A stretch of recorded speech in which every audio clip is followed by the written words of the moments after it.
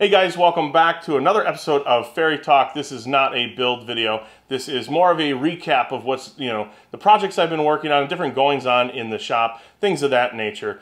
Uh, a lot of common questions. I like to see if I can answer those and, and different things. If you guys caught the uh, DIY, I guess you'd call it Baltic Birch Top Desk, it was a, it was a simple desk. The, the legs were purchased online and I had quite a few people asking about its stability as far as racking from side to side and it is actually very stout. Uh, the only thing I, you know, th those brackets were actually kind of a thicker metal. They bolted up real nice, and there was really no issue with it racking either from side to side or even front to back. I would, however, that's about as shallow as I would go for that type of desk that is, I, I believe it was 18 inches. Uh, I'll have all the links to everything down in the description below, and uh, the, the website article had the exact measurements, but I wouldn't go any narrower than those, those legs front to back might be a bit close together. So that's about the only thing that I would warn on that. But that's a really cool project that you essentially can make the top any size that you want.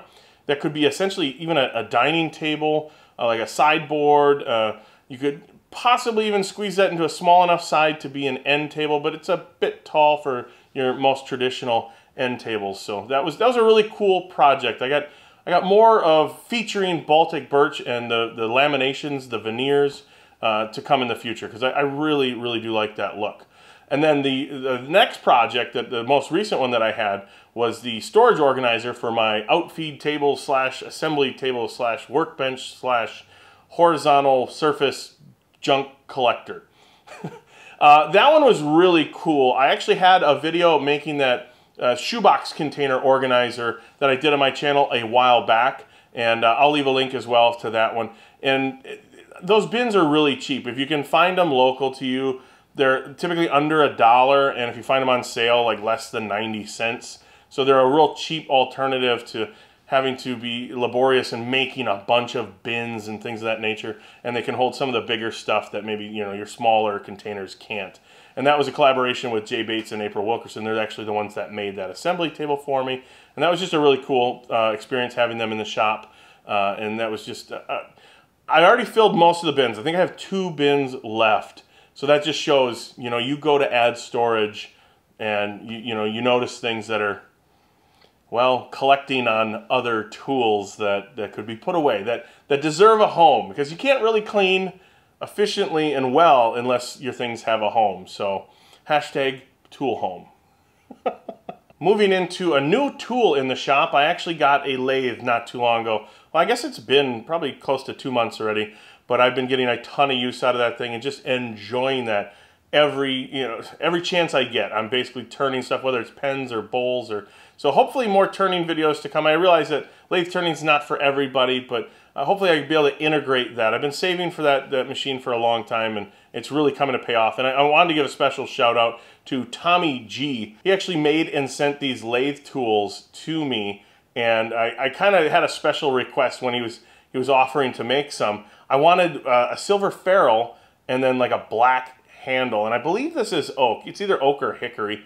Um, it, it just is awesome. And so thank you. He's actually sent me, you know, the round, the square, and then the diamond shaped carbide, three separate tools. He's got a YouTube channel. Make sure to put a link in the description below. And uh, he's, he's making these for sale too. So if you want to check that out, definitely uh, take a peek at that. So thank you so much, Tommy G. And if you guys don't follow me on Instagram, take a look at this picture. This is, this is interesting. I, I can't tell you too much about the picture at first, and I'll, and I'll show the picture, I guess, right side up or upside down, and then I'll flip it, and then you can kind of, do you see a convex or concave on the edge of the plywood? I didn't think about it because I was the one that was there and knew what the piece of plywood was, but as somebody explained it to me on my Instagram, I realized it, it was an illusion. It, you can uh, look at it, I guess, both ways. And once you see it both ways, my mind can't flip between them or can't stop from flipping between them. And I thought that was really interesting. So definitely check me out on Instagram. I'm always kind of posting different things around there. And in fact, one thing that I posted over there was uh, this picture.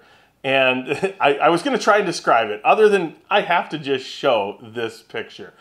This was uh, kind of a running joke. I, I, I, do a podcast, if you're not familiar. Uh, it's called The Woodworking Podcast. You can go uh, find all the information on it called thewoodworkingpodcast.com for all the information. And I run that with April Wilkerson and Jay Bates. And one night I was, uh, well, during one of the podcasts, I was talking about how my water heater broke and it just kind of finally crapped out. And I was thinking about replacing it and just kind of you know, I mean, not thinking about it, but I was trying to get enough time for me to replace it. So I was in the midst of replacing it essentially, and uh, it just so happened I was playing with some dry ice uh, with my kids because I, I like to kind of make science fun for them, and that's just one of those things to where you know dry ice is just kind of fun. You know, obviously with adult supervision. But I was talking with Jay Bates one night, and he goes, "Hey, stick some in the toilet." And then you know, just kind of hashtag it like my water heater I installed backwards, and everybody got a kick out of that. That was pretty funny. But no, that was just dry ice. But that that's that. So, anyways, if you're if you're interested in that, uh, I'll leave the link to my Instagram down below.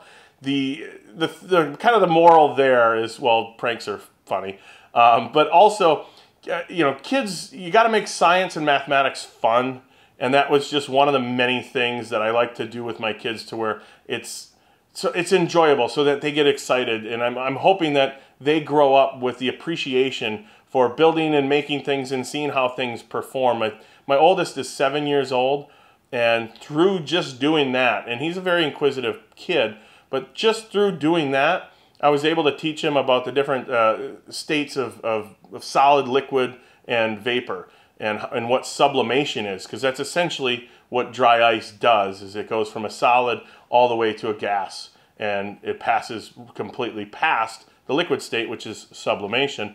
And so for a seven year old to know what sublimation is and be enthusiastic about it because he got to see it firsthand i don't know. I, I, I think that's pretty cool. And then i also got i mean just another example uh, my kid a little uh, rock kit where he, he breaks it apart with a little, you know, like a geologist, you know, hammer. It's just a, a little wooden mallet, but and gets to discover different gems and minerals, and so it just makes that more exciting for them, which is really cool. So that's kind of the takeaway. If you can, if you can make it fun for them, definitely do that.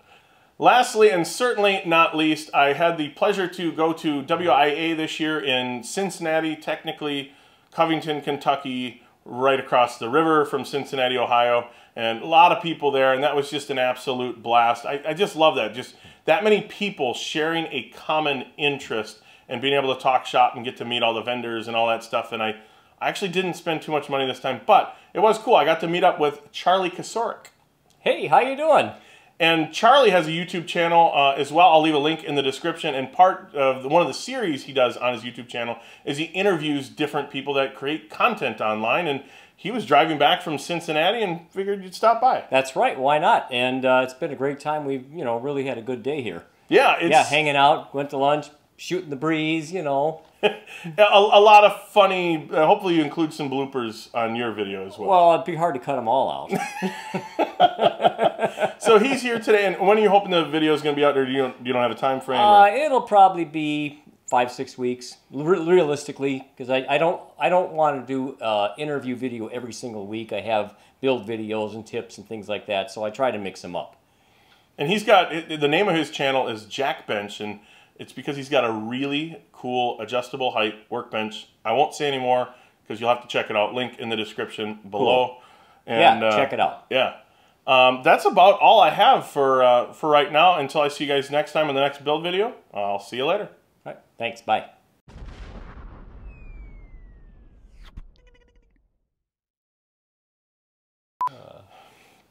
lastly, and certainly, definitely, certainly, definitely, superfluously, expeditiously, mentally, physically, super fragilistically, that'll be a blooper. Yeah. Yeah. Yeah. Yeah. You think? Yeah. Okay.